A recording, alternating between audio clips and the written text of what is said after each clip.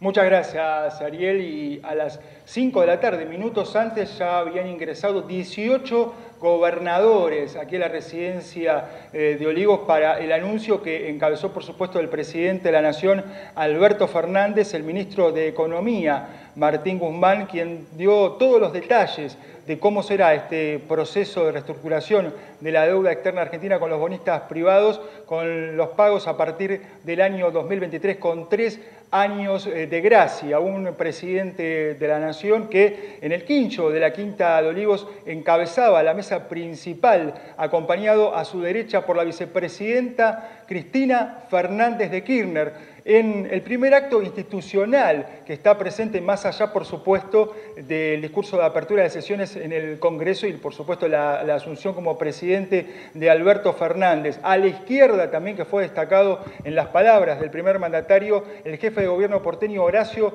Rodríguez Larreta. Y ambos lados también de la cabecera, el ministro de Economía Martín Guzmán y el presidente de la Cámara de Diputados Sergio Massa, el resto de los 15 gobernadores aquí presentes también dándole el marco institucional, el respaldo a esta reestructuración, esta propuesta que será presentada en el día de mañana, viernes, ante la Comisión de Valores de los Estados Unidos y a partir de allí los bonistas tendrán 20 días para ver los detalles, aceptar o no esta propuesta argentina. Y como bien lo decían, estamos aquí dentro de la residencia de Olivos, en una de las oficinas, con el jefe de Gabinete de Ministros, Santiago Cafiero, a quien agradecemos la deferencia de atendernos en este día tan importante. Lo decíamos en el inicio, el día quizás más importante, más esperado desde que asumió Alberto Fernández, por supuesto, antes de la irrupción del coronavirus y el anuncio hacia el 20 de marzo del aislamiento total obligatorio en la Argentina. ¿Qué tal, ministro? ¿Cómo le va? Muy buenas noches. ¿Qué tal? Buenas Quería preguntarle, bueno, ¿cómo, cómo se vivió eh, la, presentación en el anuncio con todos los gobernadores presentes, otros también por videoconferencia, cabe destacarlo, como Axel Kicillof, el gobernador de la provincia de Buenos Aires. ¿Por qué cree que la propuesta debe ser eh, eh, aceptada y cuál fue el mensaje que se buscó dar en este marco institucional de presencia tan importante de, funcionarios?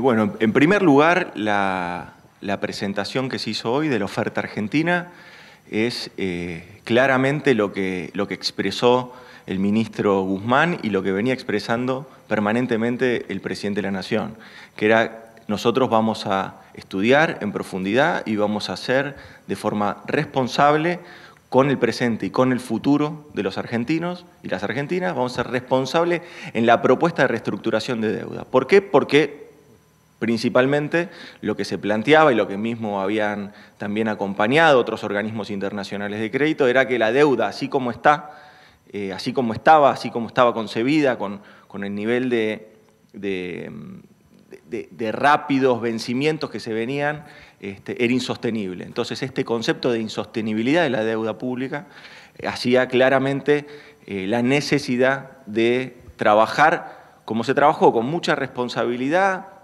sin necesidad de hacer este, ningún, ningún show, sino simplemente trabajar con los equipos, con los equipos técnicos que tiene el Ministerio de Economía y, con un gobierno y con un gabinete que acompaña y acompañó permanentemente al Ministerio de Economía.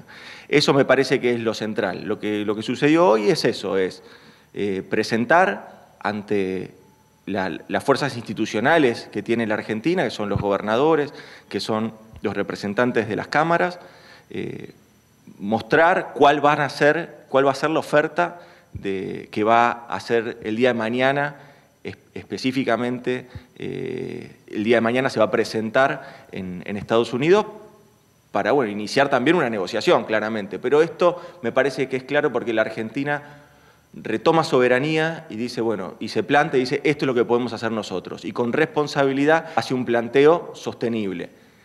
¿Cuál es la envergadura, como bien planteabas vos, o, respondiendo a tu pregunta, cuál es la envergadura de que estén bueno, otros gobernadores de, otros, de otras fuerzas políticas? Y bueno, la envergadura es que este es un tema de la Argentina, no es un tema que tiene color político o que tiene color partidario, y mucho menos que es patrimonio de una gestión, de la gestión de Alberto Fernández o de Cristina Fernández de Kirchner. Esto es algo que los argentinos nos debemos resolver y de una vez por todas también los argentinos tenemos que pensar en el futuro. Tenemos que pensar en lo que estamos dejando en nuestro presente, pero también pensar en lo que estamos dejando para el futuro. Y en este caso me parece que fue muy importante el apoyo eh, con la presencia de los gobernadores y del jefe de gobierno de la Ciudad de Buenos Aires, acompañando en, en, esta presentación, me parece que fue central. La reunión fue básicamente lo que se pudo apreciar y escuchar, lo que se pudo ver a través de la línea presidencial en directo y después en las sucesivas ediciones. No hubo mm, mayor opinión después que terminaron las palabras tanto de Alberto Fernández como del ministro de Economía Martín Guzmán. ¿Qué fue lo que pudo, se pudo palpar después como jefe de gabinete, alguna reunión al menos informal con los gobernadores allí presentes, con todo Máximo Kirchner, también el presidente de la bancada del Frente de, Todos? ¿Qué fue lo que eh, pudo palpar de la recepción que tuvo la propuesta argentina entre los presentes en el anuncio? Bueno, la necesidad de acompañamiento, creo que hubo una responsabilidad muy grande de parte de todos, de parte de, vuelvo a insistir, de parte de bueno, los, gobernadores o, los referentes políticos que, eh, que están representados en, nuestro espacio, en, nuestro frente electoral o en nuestro frente político, pero también eh, era importante contar con las presencias de otros gobernadores y, eh, que vinieron a dar un apoyo, claramente. Me parece ahí que es importante eh, porque esto fue lo que, lo que estuvo, obviamente, en, las conversaciones previas y en las conversaciones posteriores a que se haga la presentación. Eh, todos sabían eh, la, reunión este, de qué se iba a tratar, que, cuál era, cuáles eran las implicancias, este, y obviamente, bueno, faltaba el detalle. El detalle fue lo que expresó el ministro Guzmán. Nosotros estamos muy conformes, me parece que ha sido, que es un espaldarazo, pero no para, para la gestión eh, de un gobierno, es para la gestión del país. Esto, esto es bueno para la sociedad argentina, esto es bueno para el pueblo argentino, que nos encuentre a todos unidos tirando para el mismo lado en este sentido. Que obviamente habrá diferencias después, claro que hay diferencias, pero bueno, eso las, las dirimimos en una elección o las dirimimos en la arena política. Pero para esto nos juntamos, para discutir la deuda pública nos juntamos, para discutir el coronavirus y ver cómo lo enfrentamos, nos juntamos. Los argentinos nos juntamos, tenemos esa capacidad. Ariel, Gabriela, David, en el piso los está escuchando el jefe de gabinete. Muchas gracias, Gastón. Muchas gracias, señor Santiago Cafiero. Aquí estamos en Televisión Pública Noticias. Eh, naturalmente, sabrá que el, tema hoy nos, dominará buena parte de nuestro noticiero. Eh, hay una frase que ha adquirido la mayor repercusión de, las que ha soltado hoy Martín Guzmán, el ministro de Economía, que es aquella que, en la que dijo Argentina hoy no puede pagar nada. Eh, le hago una doble consulta a partir de, esta frase. ¿Le temen al, rebote de, una frase así? Y por otro lado, es una frase que asume la situación, que reconoce dónde está parada hoy la, República. Sí, la, deuda fue totalmente adquirida de forma irresponsable. Eh, tan irresponsable fue que se hizo insostenible. Y esto es una realidad y esto no hay que desconocerlo, y esto no tiene que ver con, este, eh, eh, con, no hacernos cargo y ser responsables de lo que tenemos que hacer para adelante. Ahora, lo cierto es que esto sucedió, y sucedió en muy corto tiempo.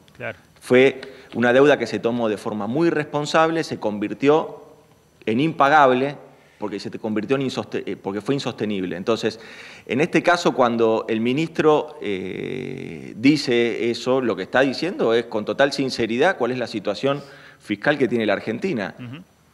Porque no perdamos de vista una cosa, la quita de capital que se está proponiendo, dejar de pagar lo que tenemos que pagar, lo que deberíamos este, pagar en los próximos vencimientos, nos quitarían recursos para pelear contra el coronavirus, por ejemplo, o nos, quitarían recursos para ver cómo podemos reanudar o reactivar eh, actividad económica, cómo hacemos para que más argentinos y argentinas no caigan en el desempleo y en la miseria. Entonces ahí es donde nosotros, desde el 27 de octubre del año pasado, los argentinos y las argentinas decidieron poner otras prioridades en el gobierno, a partir del voto popular, esa expresión la hizo nuestro presidente, Alberto Fernández, en fórmula con Cristina Fernández de Kirchner, y obviamente que esa expresión es la que nosotros, ese es el mandato popular que tenemos nosotros, cambiar esas prioridades. Por eso nos han votado, por eso han votado nuestro frente político. De ese modo nosotros tenemos que poder honrar esas prioridades que los argentinos y las argentinas decidieron cambiar. Decidieron cambiar un modelo especulativo por un modelo que acompañe la producción y el trabajo, que acompañe a los que producen y a los que trabajan en la Argentina.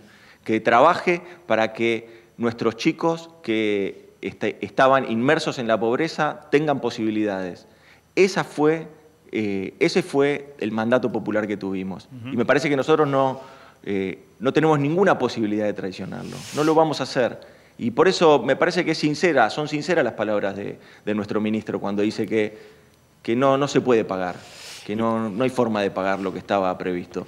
Porque pagarlo implicaría seguir haciendo ajustes y nosotros no estamos dispuestos a hacer ajustes. Bien, bien. Eh, vayamos a, escenarios concretos si es que se puede imaginar un, escenario concreto, entendiendo que esto es eh, plena conjetura. ¿no? ¿Qué podría pasar si la Argentina quedara obligada a, pagar lo que, eh, lo que tiene que pagar antes de esta propuesta?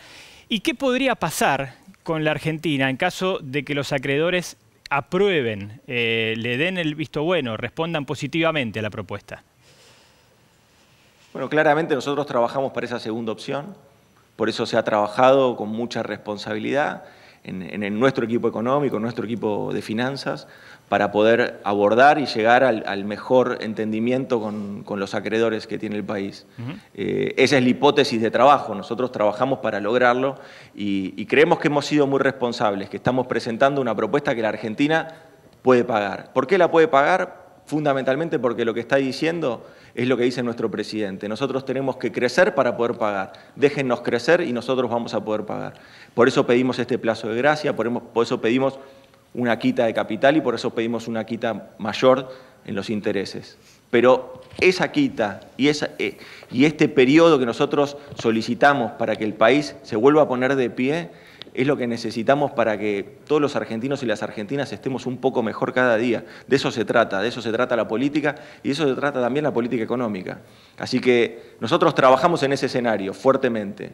El resto, la verdad, es que naturalmente es parte de una negociación.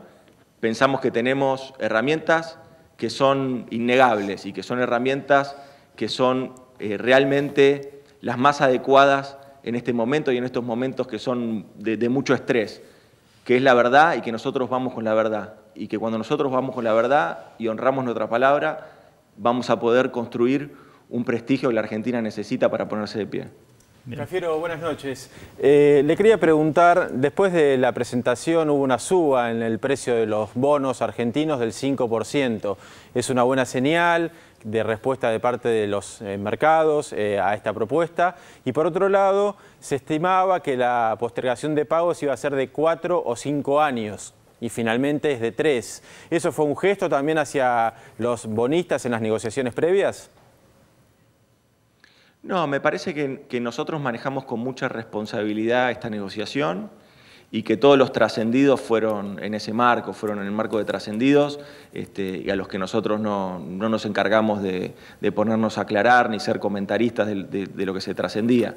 Este, para nosotros es importante que, siempre ha sido transparente las propuestas y los avances que hemos tenido, hicimos y estamos haciendo una negociación eh, de cara a la gente, de cara al pueblo argentino.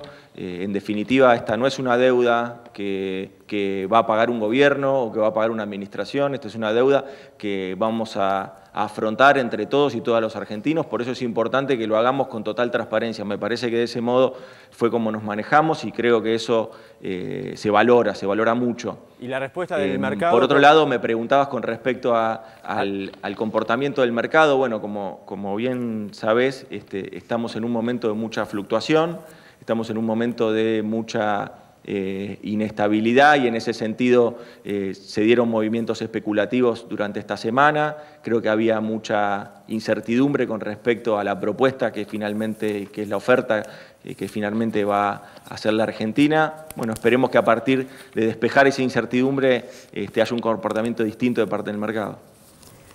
Santiago Cafiero, muy buenas noches. recién, tanto a lo largo de esta entrevista como en su cuenta de Twitter, dijo queremos pagar eh, un monto que Argentina pueda pagar y recién en las posibilidades que presentaba Ariel de que Argentina esté obligado a pagar la deuda o por otro lado que acepten la oferta, me plantea otra hipótesis, que es estar cerca de que acepten, pero que todavía sea insuficiente. ¿Argentina tiene margen para seguir negociando o es la última y única oferta que puede hacer? No, nosotros ahora eh, vienen 20 días que tenemos que esperar la respuesta eh, de los acreedores. Ahí se abre obviamente posibilidades, pero son posibilidades de detalle. Lo, principal es lo que ha presentado el ministro Guzmán y, esa es la oferta de la Argentina. Bien, bien. Bien, eh, Santiago, ¿qué tal? Buenas noches.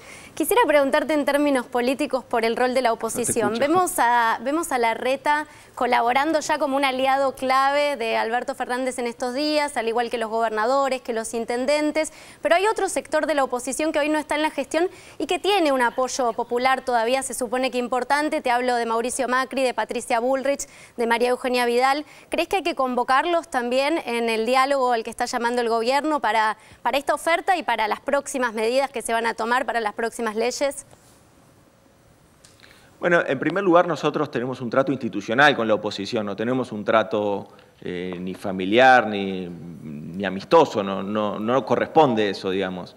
Tenemos un trato institucional. Desde el punto de vista institucional, obviamente nosotros convocamos a quienes tienen representación institucional. En ese sentido, eh, nos manejamos con, bueno, con los gobernadores, también incluso con, con los bloques. Eh, hemos, hemos sido muy abiertos, han, han ido muchos eh, ministros eh, y, miembros del gabinete a dar información a, los diferentes bloques y, este es un gobierno que ha, sido, que ha tenido mucha participación adentro del Congreso y adentro de las cámaras para dar este, respuesta y para, en definitiva, tener diálogo abierto.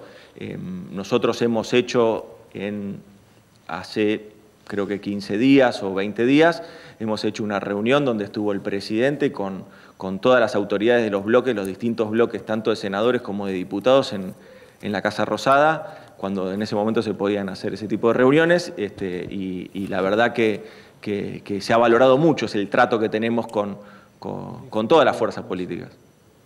Eh, Cafiero, ¿tienen indicios? Entiendo que esta, pregunta va a estar respondida más por, el deseo, por, este, por el optimismo quizás, ¿no? Pero ¿tienen indicios de qué respuesta pueden llegar a obtener? Eh, discúlpame, ¿sobre? sobre la propuesta en sí de, los acreedores, si, si, ustedes tienen indicios ya, de alguna forma, eh, sobre la respuesta de, ellos llegado el momento. No, eh, la verdad que, bueno, obviamente que siempre hay, nuevamente, trascendidos y siempre hay parte de, este tipo de negociaciones, tienen este, muchos ribetes que, que son parte de, muchas veces de rumores, pero que uno tiene que ir con pie de plomo y tiene que ir trabajando sobre los hechos concretos. Eh, hoy por hoy lo que hay es que nosotros y la Argentina, con total soberanía, hace una oferta. Eh, el día de mañana esa oferta va a cursarse a, todos los acreedores y a partir de ahí esperamos tener una respuesta desde el punto de vista institucional. Acá no hay y no existen eh, los rumores o los trascendidos. Los datos son datos concretos que se van dando y que nosotros venimos dando siempre de cara a la ciudadanía. Por eso somos muy transparentes en todos los avances que se van teniendo con respecto al tema de la deuda. Bien, David. Eh, Cafiero, bueno, respecto del Fondo Monetario también le pregunto, eh, el ministro Guzmán dijo que por tres años no se le va a poder pagar, que hay que buscar un nuevo acuerdo, un nuevo programa con el FMI. ¿En qué punto estamos en esa negociación? Bueno, es parte de todo el paquete de negociación de la deuda porque es toda la restricción que nosotros este, veníamos teniendo. Nosotros necesitamos tener todas nuestras facultades para desarrollar y volver a desarrollar independientemente de, salir de la mejor manera y del mejor modo de, de esta pandemia. Nosotros lo que necesitamos es tener todos los instrumentos y todas las herramientas que un país como la Argentina necesita para poder desarrollar su producción, para poder desarrollar su comercio, para poder desarrollar nuestras pymes, para que generen empleo, para que ese empleo genere consumo y que entonces esa rueda virtuosa de la producción y el trabajo haga crecer a nuestro país. En ese sentido nosotros necesitamos tener, eh, estar sin ataduras, Y para estar sin ataduras nosotros necesitamos tener una negociación de las características y de la forma de que el ministro Guzmán le está llevando adelante. Eh, ¿Presentarán el informe, presentarán la, propuesta en el, Congreso? Y, si es así, ¿saben cuándo ya? La propuesta de deuda en el Congreso, no, la propuesta, la propuesta de deuda el día de mañana eh, se va a estar enviando, eso es un, es un, decreto y la formalidad es un decreto, digamos, y se termina enviando a, la, SEC, a Estados Unidos, eh, que es donde, donde tienen sede todos estos los, acreedores de, deuda externa del país. Bien, eh, vamos a tomarle unos, minutos nada más eh, para sacarle un poco de, lo que ha sido el tema del día hoy. Esta propuesta de la cual estamos hablando ya desde, desde comenzar la entrevista. Eh, le vamos a agradecer unos, unos minutos más porque imagina a, gran parte de la sociedad convulsionada y, queriendo saber algunas, algunos temas, algunas consultas sobre esto que sufre todo el mundo, que es el coronavirus, que es esta pandemia, que son las consecuencias económicas y, en, materia de, salud. Eh, eh, le pregunto si, estudiaron o estudian, quizás también, la posibilidad de, aislar eh, el mediano plazo, naturalmente, estamos en tiempo de una cuarentena, administrada, pero cuarentena al fin, de aislar a los grupos de riesgo y, allí sí liberar las actividades para que este circuito económico se, reactive. Eso es una, posibilidad, insisto, no creo que en el cortísimo plazo, pero para dentro de algunas semanas.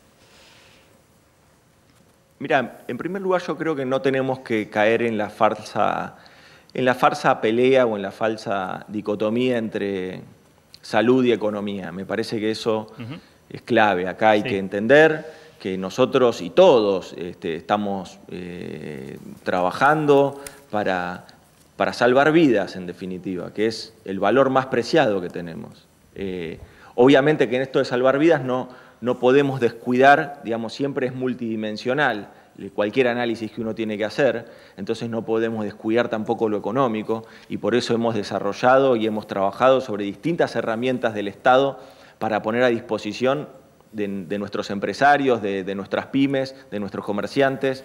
Eh, me parece que eh, nosotros lo que tenemos que trabajar es en esa línea. Obviamente que desde el punto de vista de la pandemia lo que tenemos que hacer es siempre trabajar sobre el cuidado, sobre una ética del cuidado. Nosotros tenemos que de acá eh, eh, para adelante, independientemente de si se levanta o se reanuda tal o cual actividad, nosotros vamos a tener que tener de acá en adelante una ética del cuidado que trabaje fuertemente en esos grupos vulnerables al que, al que hacías referencia, que trabaje fuertemente en esos grupos vulnerables, pero que también haga que nos cuidemos entre todos.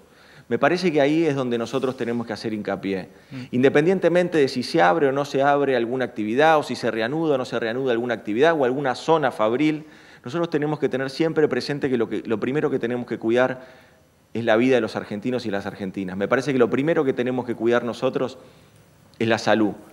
Eso es lo primordial. El resto, obviamente que nosotros estamos trabajando. Hemos trabajado fuertemente. Hoy eh, en el día de hoy la asistencia para el trabajo y la producción, este paquete de medidas bien focalizado sobre el sector productivo de la Argentina, ya lleva más de 414.000 inscriptos y, donde se dan excepciones impositivas, donde se dan diferimientos impositivos y donde también se da subsidios para que se puedan pagar eh, los salarios de, los trabajadores. Entonces me parece que eh, herramientas hay, disposiciones hay, eh, créditos uno los puede ir perfeccionando, ahora cuando se pierde una vida, me parece que ahí ya no tenemos respuesta. Por eso yo creo que nosotros tenemos, eh, tenemos que seguir trabajando en esta línea, tenemos que ir obviamente teniendo una mirada inteligente sobre qué sectores son los que se pueden ir reanudando, sobre qué actividades se pueden ir reanudando, pero nunca perder de vista una cosa. Hoy la Argentina, gracias al aislamiento o a la cuarentena,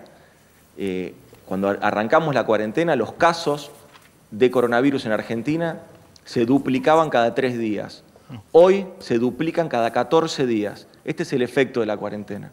Entonces, y este es el efecto de la cuarentena no producto de un gobierno, no producto de una gestión. Este es el efecto de la cuarentena que hicimos y hacen todos los días los argentinos y las argentinas. El hecho de quedarse en su casa es un acto de amor, es un acto de amor a la familia, es un acto de amor al prójimo, es un acto de amor al resto, de cuidado. Me parece que es fundamental. Tenemos que entender que cuando nosotros nos quedamos en nuestras casas estamos haciendo una acción concreta de vida. Y ahí es donde yo quiero hacer mucho hincapié, porque acá va el agradecimiento a todos y a todas. Yo sé que es muy difícil esto, es muy difícil. Nosotros llevamos ya varias semanas de aislamiento y de cuarentena, y realmente se está cumpliendo. Y los argentinos y las argentinas realmente lo están tomando con mucha responsabilidad. Nosotros lo que pedimos desde, el gobierno, porque tenemos un mapa general de datos y porque esos datos hacen que tomemos, que vayamos tomando decisiones, es que continúen, que aguanten, que aguanten un poco más, que lo estamos haciendo bien. Vuelvo a insistir, este dato es irrefutable. Nosotros cuando arrancamos la cuarentena, cada tres días se duplicaban los casos. Hoy cada 14 días se duplican los casos. Y gracias a esa cuarentena solamente hay 2.669 casos confirmados en la Argentina. Hace minutos ese número lo arrojó un nuevo parte diario que ya estaremos detallando. Pero también el presidente habló de cuarentena administrada y tanto usted como Guado de Pedro son los encargados de recibir las propuestas de los gobernadores. Sabemos que no hubo muchas, sí algunas muy concretas. No quiero saber cuáles, pero sí si por lo menos analizaron administrar alguna cuarentena en alguna localidad en particular y por lo menos habilitar varias actividades. Sí, claro que en este mapa eh, inteligente que tenemos, donde vamos tomando decisiones, vamos viendo, hay localidades, zonas, jurisdicciones que no tienen casos o que han tenido algún caso importado, donde no hay circulación viral, donde este ratio del que yo hablaba de la duplicación de casos está mucho más alejado de los 14 días promedio que tiene el país y bueno, definitivamente ahí eh, se van a ir reanudando actividades. Esto nosotros lo estamos lo estamos haciendo en conjunto con los protocolos que define el Ministerio de Salud, que es la autoridad sanitaria a nivel nacional, y, a partir del lunes se van a, ir reanudando actividades en, muchas provincias de la Argentina. Esto lo estamos trabajando con los gobernadores, con las gobernadoras, y, para nosotros es clave también tener el acompañamiento y el apoyo, porque ese apoyo federal y esa mirada federal hace que entendamos el conjunto de, de la Argentina, de que hay zonas que están muy abarrotadas, que hay zonas que están eh, del conurbano, que tienen una complejidad distinta a una zona eh, quizás más alejada, hasta incluso en el mismo en la provincia de Buenos Aires, digamos. Entonces, en ese, en ese sentido, eh, hay realidades distintas y nosotros las estamos atendiendo, esas realidades distintas. estamos trabajando fuertemente con, con inversiones para, para, aquellos argentinos y argentinas que, que hoy no están pudiendo salir a trabajar y bueno, estamos eh, llegando a, casi 8 millones de argentinos y argentinas con el ingreso familiar de emergencia y también estamos trabajando para eh, tener más y mejores herramientas para nuestras pymes, para nuestros comercios. Me parece que nosotros estamos eh, teniendo una mirada obviamente general, pero se va a seguir avanzando con, estas, con estas excepciones o con reanudar distintos eh, distintas actividades, pero siempre bajo protocolos y siempre teniendo en cuenta que el distanciamiento social, es decir, todas estas medidas que estamos incorporando, lo de toser en el pliegue, lo de, estar permanentemente con alcohol en gel o ahora mismo estar con barbijos, eh, evidentemente eso eh, es algo que nos va a acompañar por un tiempo más y, y, va a ser parte de nuestra conducta y va a ser parte de que si todos cumplimos con eso, va a ser más fácil eh, volver a reanudar más y más actividades, porque vamos a seguir con un ratio de contagio eh, que es menor, como el que estamos teniendo ahora, que es un ratio de contagio que realmente lo hemos vencido poco a poco con, a partir del, cumplimiento de la cuarentena. Eh, le hacemos la, última desde aquí, agradeciéndole desde ya este, este, este rato largo. tenemos bien aprendido que lo que se hace ahora, la, extensión de, de la cuarentena, sirve para aplanar la curva, que esa decisión también sirve para, en el mientras tanto, extender la red de camas en el país, ya sea las camas de terapia intensiva, como bien las camas para pacientes leves, y hemos visto lo que se ha armado en Tecnópolis, y hemos visto lo que se está armando y lo que ya se ha armado en tantos otros lugares.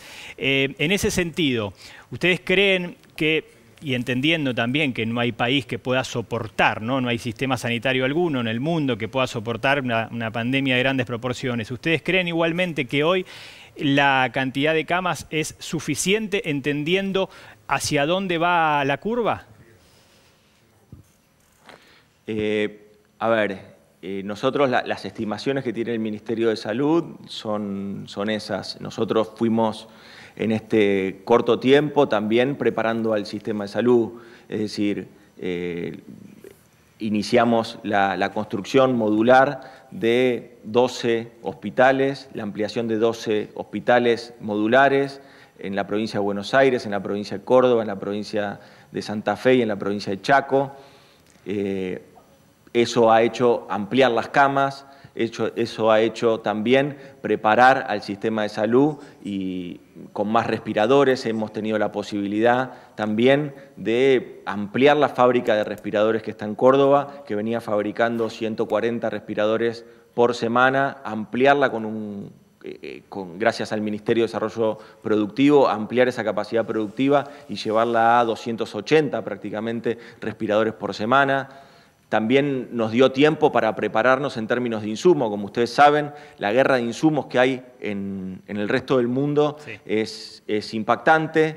Eh, la Argentina, que la Argentina tenga industria nacional, que la Argentina tenga empresarios pymes que se hayan quedado en este país, que hayan confiado, empresarios textiles que se hayan quedado y que hoy se estén reconvirtiendo a hacer estos productos, barbijos, camisolines. Eh, para nosotros eso es clave, porque eso nos da soberanía.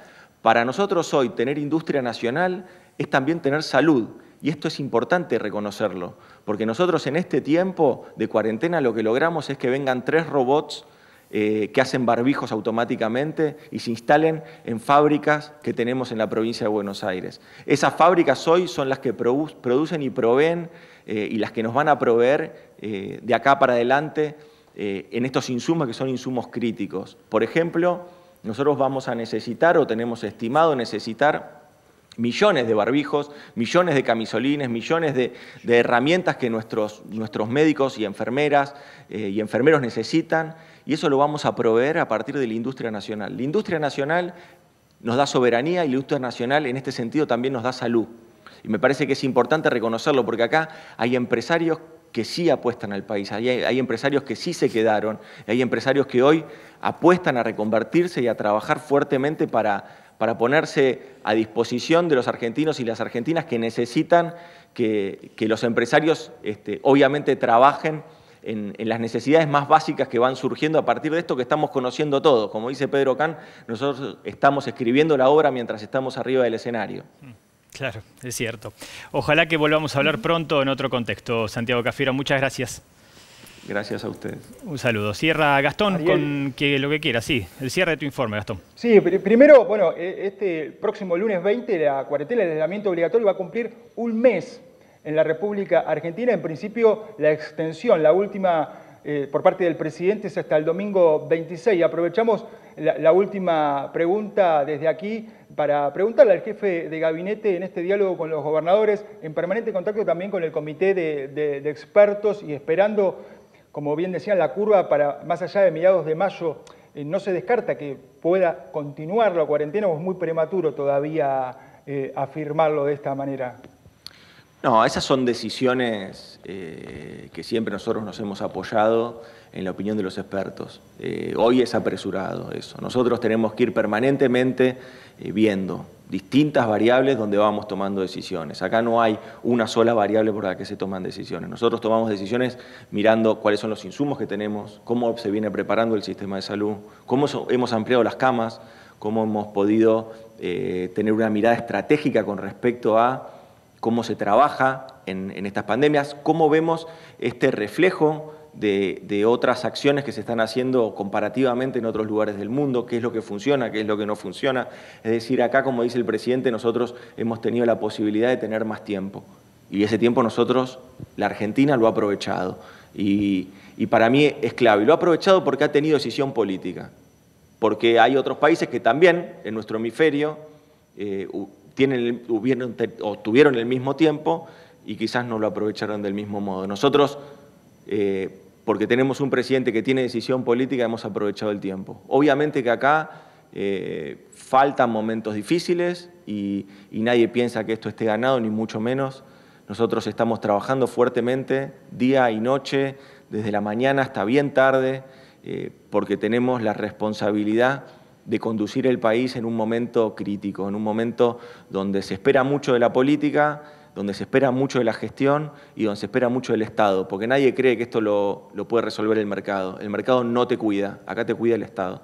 Muchísimas gracias. Ahora sí, Santiago Cafiero, el jefe de gabinete, y para el final, cabe destacar en este día que fue presentada la propuesta concreta que la reestructuración de la deuda es ley en la República Argentina, que el 30 de enero fue aprobada con amplio consenso por parte también de la oposición, salvo los partidos de izquierda, en la Cámara de Diputados. El 5 de febrero de este año fue sancionada la reestructuración de sostenibilidad de la deuda pública externa en el Senado Nacional. Y el 11 de febrero el ministro de Economía, Martín Guzmán, contestó todas las preguntas de la oposición y del oficialismo en el recinto de la Cámara de Diputados. En el día de hoy se conoció la propuesta concreta, los detalles que van a ser presentados mañana, viernes, ante la Comisión de Valores de los Estados Unidos. Ustedes. Muy bien, muchas gracias. Y esos detalles los estaremos repasando en breve, nada más.